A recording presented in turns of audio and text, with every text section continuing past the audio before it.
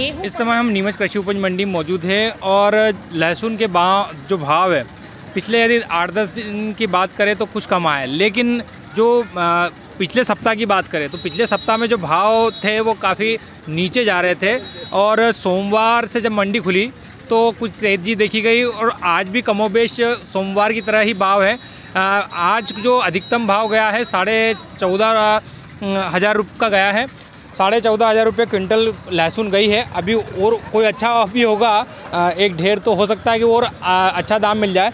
वहीं बात करें नीची जो ऊटी लहसुन की बात कर रहा हूँ मैं तो लहसुन जो साढ़े चौदह ऊटी का ऊपर गया है। वहीं नीचे की बात करें तो छः सात तक ये जा रहा है, क्वालिटी के ऊपर है।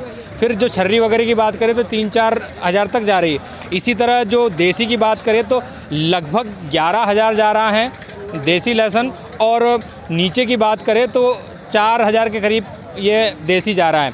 हालाँकि कल के और आज के दाम देखते हैं तो पिछले सप्ताह की अपेक्षा तेज़ी देखी जा रही है।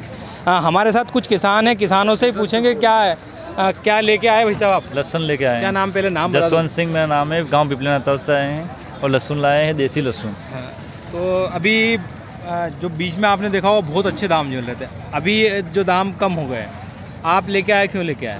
नहीं तो पहले भाव अच्छे थे उसमें बेचे हमने लहसुन। अच्छा। उसमें हमारे अठारह हज़ार सत्रह हज़ार बिकी अच्छा, यही लहसुन। यही लहसुन। हाँ पर अभी भाव मतलब छः सात हज़ार डाउन है। तो क्या उम्मीद है कहाँ तक चली जाएगी? मिक्स है हाँ मिक्स है जो चली जाएगी आठ हज़ार तक सात से आठ हज़ार तक। तो जैसा कि इनको उम्मीद है कि सात से आठ तक चली जाएगी और यही लहसुन उन्होंने कुछ कि जब कब बेची थी आपने? एक, एक महीने पहले। मतलब एक महीने पहले की बात है जब आज अच्छा उछाल मिल रहा था जो ऊटी थी वो तीस से ऊपर जा रही थी उस समय की बात है। तो उम्मीद इनको ये है कि अभी भी अच्छा भाव इनकी अपेक्षा के अनुसार आठ तो मिल ही जाएगा।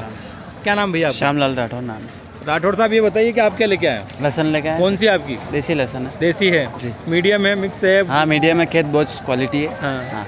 पहले निकाल दिया आपने पहले निकाली कितनी। लहसुन निकाली? अपनों ने निकाली पच्चीस क्विंटल सर। पच्चीस कुंटल वो क्या भाव गई थी? वो कही थी अपने पंद्रह हज़ार रुपये हाँ अभी क्या उम्मीद लग रही जो लेके आए? वही वही वेराइटी है? हाँ वही वेराइटी शायद बिक जाएगी और क्या? अभी आपने देखा होगा कि पहले मंडी के बाहर बहुत लाइनें लग रही थी। जी जी सर। आज लगभग ये मान लिया जाए तकरीबन बारह हज़ार बोरी की आवक है।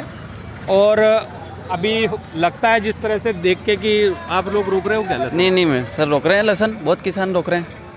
दाम भी कम आ गए। दाम भी कम आ गए रोक रहे हैं। वो पंद्रह हज़ार बेची तो सात हज़ार में कैसे बेचेंगे सर? वो चक्कर है ना। नहीं बस देसी तो रुक जाएगी देसी रुक जाएगी। ऊटी भी रुक जाएगी सर ऐसा कुछ नहीं।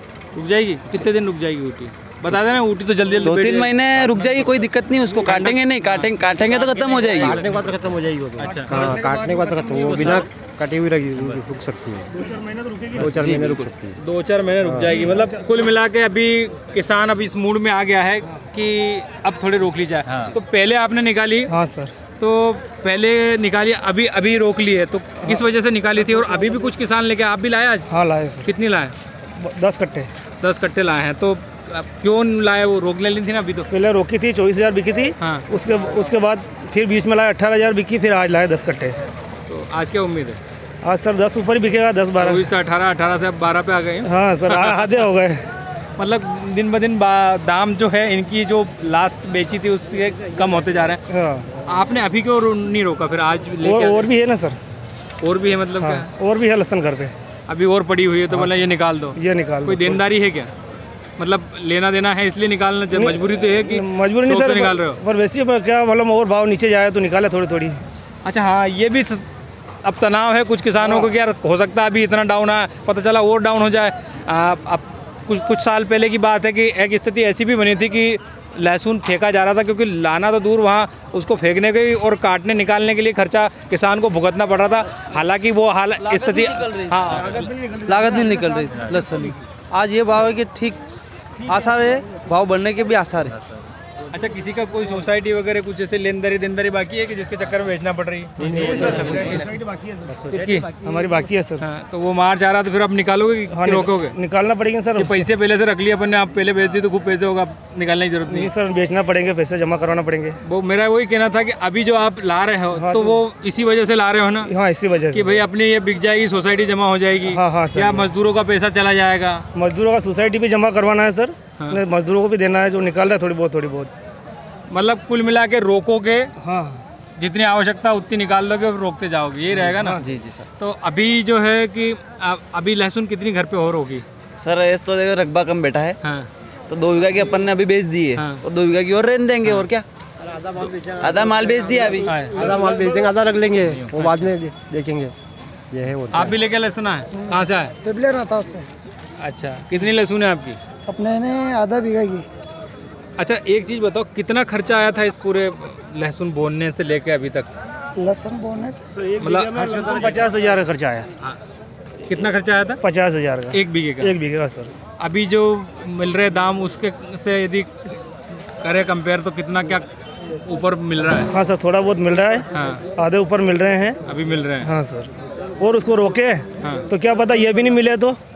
इसलिए बेच रहे हैं उनको। जैसे कि सर क्या है कि पिछले साल 26 क्विंटल बीघे की बैटरी थी अपने। हाँ। एस तेरह क्विंटल बैटरी है। हाँ। तो रेशियो वो क्यों हुई एक लाख पहले भी पहले चार हज़ार के भाव से एक लाख आए थे आज भी दस बीस हज़ार ऊपर आ रहे हैं और क्या? खर्चा बहुत हो गया। खर्चा पानी गिर तो गया था। पचास हज़ार है। ये खर्चा तो? तो कुल मिला के जो किसान है उसकी कुछ मजबूरी भी है और ज़रूरतें भी हैं जिनको पूरा करने के लिए वो अब उपज तो बेच रहा है। लेकिन जो एक बम्पर आवक हो रही थी वो अब कुछ रुक चुकी है और उसके पीछे कारण ये है कि जिनको बेचना था वो बेच चुके हैं। और हाँ। और जो कच्चा माल है वो कच्चा माल निकाल रहे हैं जो लोग स्टॉक नहीं कर पा रहे हैं या जिनको देनदारियाँ देनी है इस चक्कर में उपज उनको निकालनी पड़ रही है। हालाँकि अब दिन ब दिन दाम भी कम होते जा रहे हैं और आवक भी कम होती जा रही है। विजित राव महादिक